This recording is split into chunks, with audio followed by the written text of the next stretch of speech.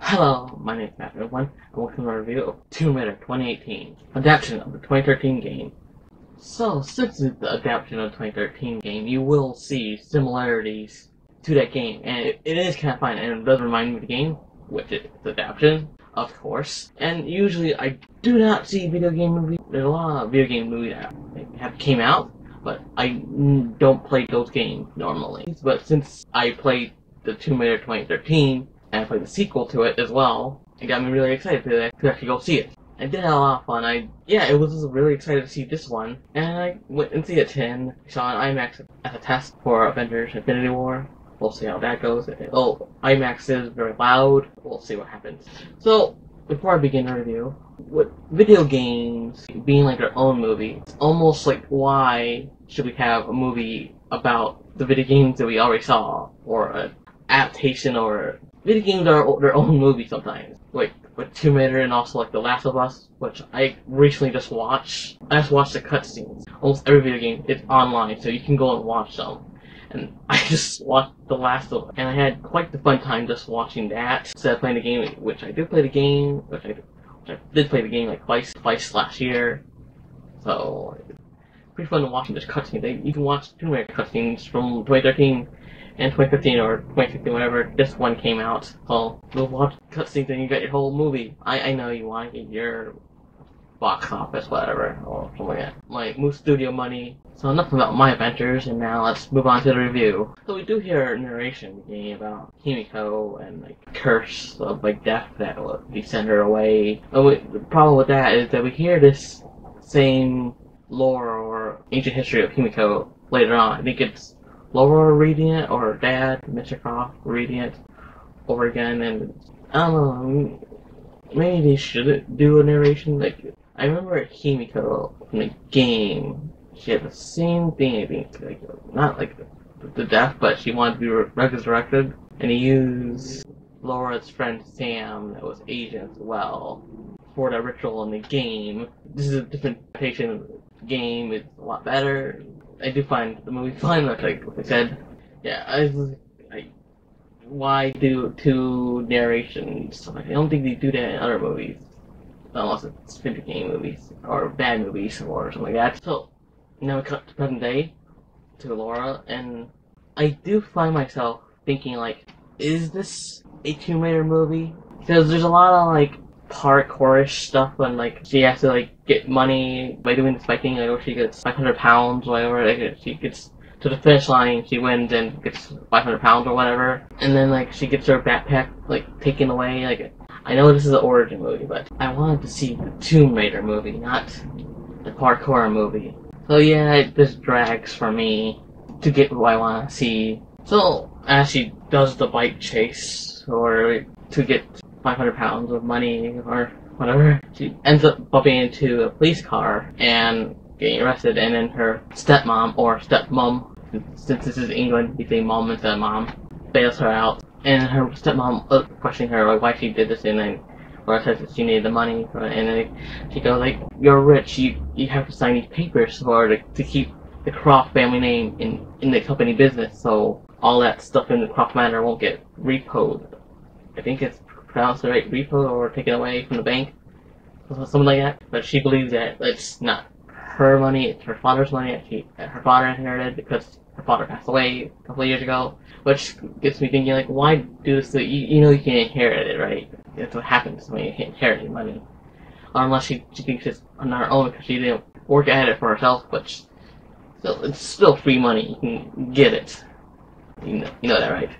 I'll take free money. So Laura thinks about it and then decides to do it. So she goes to like Croft Industries, her father's building, talk to her stepmom and and talk to her father's lawyer, and then her father's lawyer gives her like this box. It's like a puzzle box, and like she like solves it because she knows how to do all this stuff because she's been trained to do it as a kid, and like you know solves it like a key and a whole photo and like a note pops out of it, and then she decides to go. Oh, she, I think she did sign the papers, and she goes to Croft Manor and goes to the Croft Memorial and finds the keyhole in one of the Croft family tombs and finds all her dad's stuff. Or her dad's is a bat cave. Nah, not really.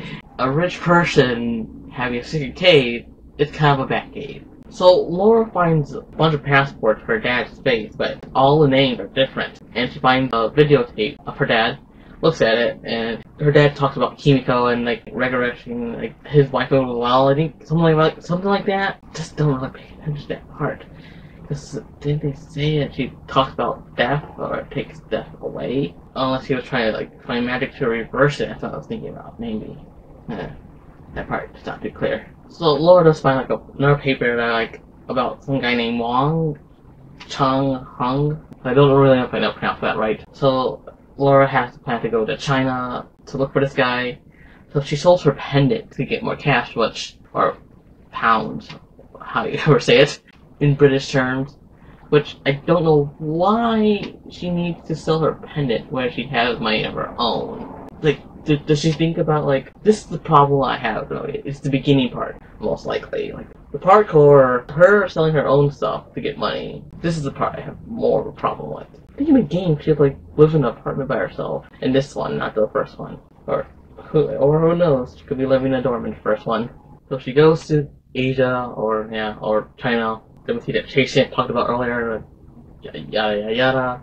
She finds Wang's son and then they go off on an adventure, and he's also a drunk too.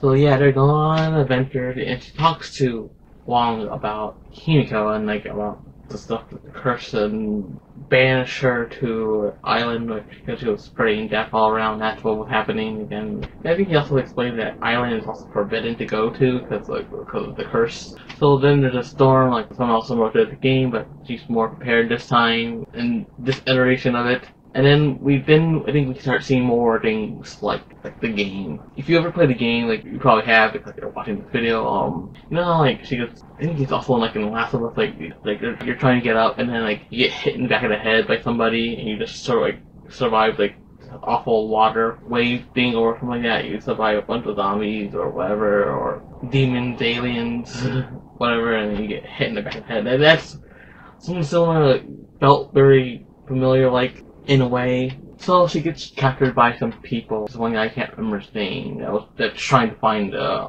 Himiko's tomb, and also he knows her dad. It's Trinity, like in the game, we have references to the game. There's like there's stuff that's in the game, like Trinity and other things like Himiko and like similar things. And it's like, at least they're trying. They're trying with something. Yeah, so this guy, I can't remember his name. Was, I think he's like from The Walking Dead, probably. I don't know the actor. I don't know. He looks like the guy, the main guy. I don't watch Walking Dead because I heard crap by other people. So uh, you also have like a bunch of Chinese slaves, but a more Asian slaves, or like, it could be mixed. I don't know if it is Chinese or it could be Japanese or it could be all around. And then he also like goes to to like lower stuff because he was to like that all the notes that Mr. Croft had about Himiko's tomb, and he goes and finds it so he knows the way. And then Laura ends up escaping with the help of Wong, I think. I do remember her escaping, and then we go after her, and she falls down a waterfall or whatever, or something like that. And then we get like more similar things to the game, like, like with the plane.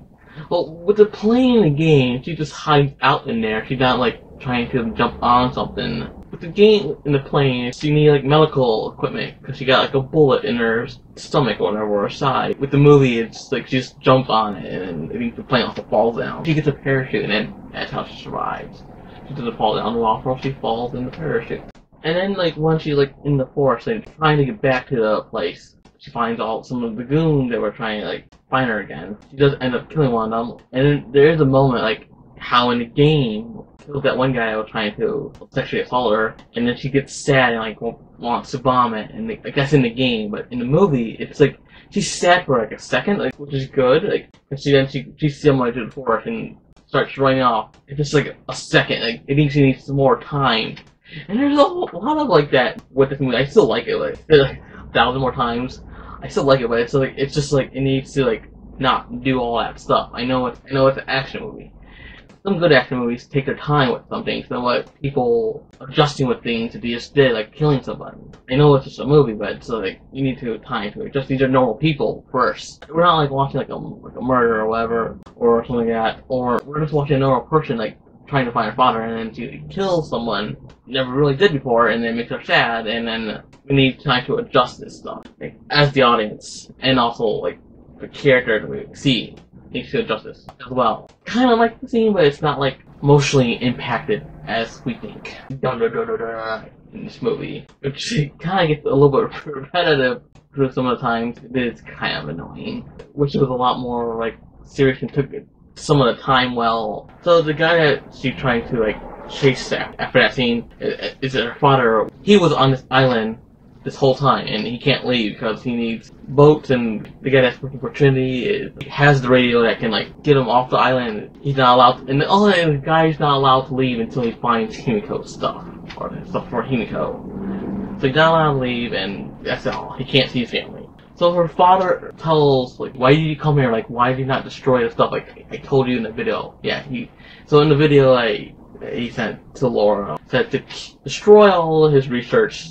Don't come, don't look for me, whatever, if I'm lost. That's what he said. She, obviously, she ignored it. We wouldn't have this movie. And he also gave false information about like where Himiko is because he knows the real truth of Himiko about how about death that Himiko brings to everyone else. So after Laura's father talks about all that stuff about like him making counterfeit locations to find Himiko, and she decides like we have to help these people like escape the island. Like no, there's no way off getting off this island without that radio. And she goes like if you're not gonna do it, then I have to do it myself. Then she goes off. She, there's the bow and arrow we saw. And it's carried in the game.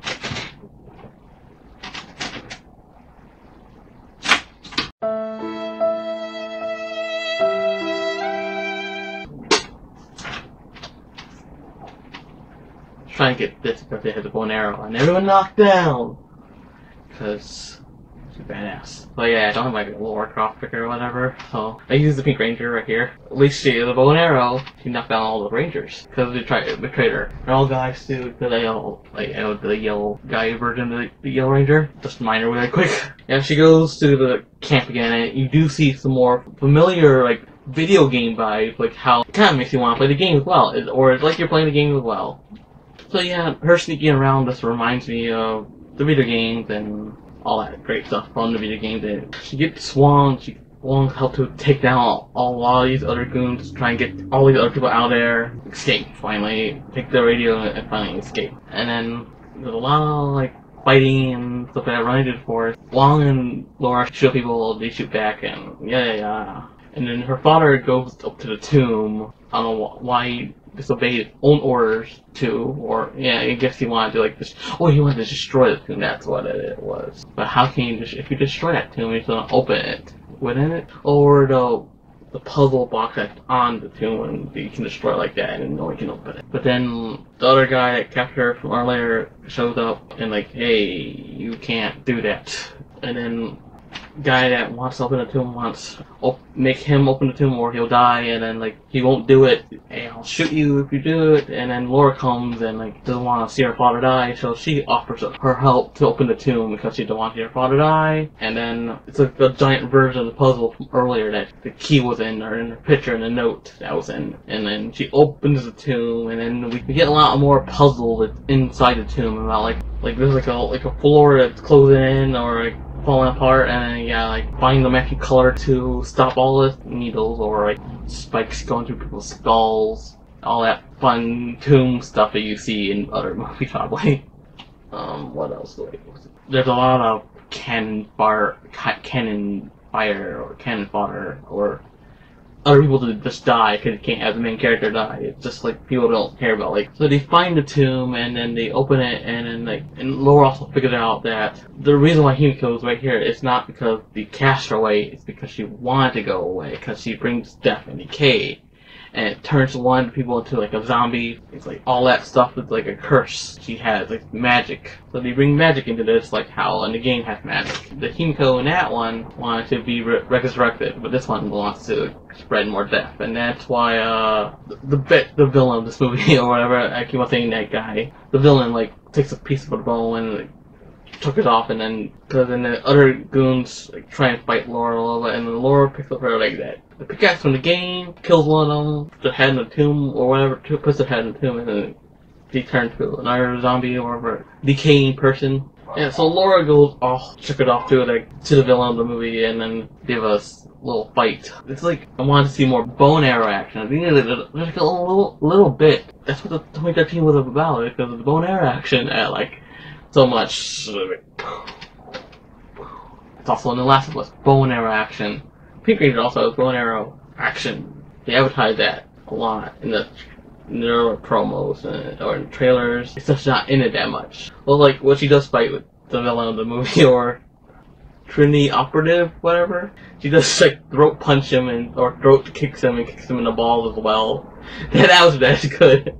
It's a plus for me. So then like she like kicks the bone that was in the bag that he had. That was like be a weapon of like decay, destroy all their enemies. Puts the bone in, her, in his mouth and pushes him off the cliff because the, the cliff has a bunch of dead bodies on it. Dead skeletons or Himiko's servants that and there's more chasing before that happens uh, with the other with the other goons. Yeah, that's what happens.